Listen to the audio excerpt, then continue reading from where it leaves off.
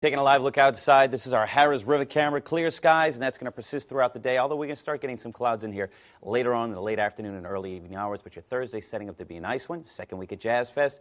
Thursday, uh, Jazz Fest will be open. Head out to the fairgrounds. We've got the weather for it. Exact live radar right now 53 degrees in Slidell, 55 in Hammond, 61 on the South Shore in Belle Chasse. Wind speeds, you get south of Lake Pontchartrain running about 5 to 10 miles per hour, north shore extending across to the Mississippi Gulf Coast, calm. But that's going to change as we move through the day. Let me show you your exact cast headlines. Mostly sunny, warm, humid, and windy. That's right, the winds are going to be ramping up. That's what I was talking about. And then rain chances begin tomorrow morning, and they're going to persist through next, uh, next week, unfortunately.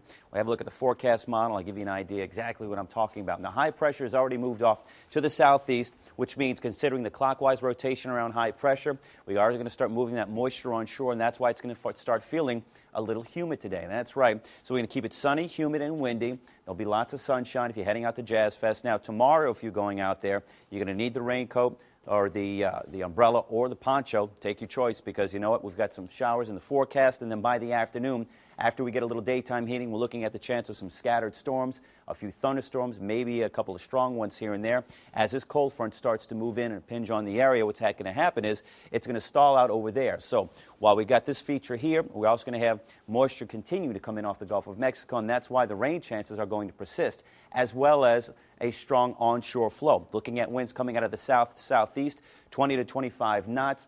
The, uh, the astronomical high tide combined with the, uh, the tidal cycles during the tidal ranges are going to combine to make above average tides. So if you live outside of the hurricane protection system, Look out for maybe a little bit of flooding, expecting uh, the tide to be about one to two feet above the average. Now, here's what I'm expecting for today 80 degrees right about 3 o'clock. Your seven day exactcast is showing temperatures upper 70s, mainly hovering right around the mid 80s, but the rain chances, they're going to be sticking around right through next Tuesday and Wednesday.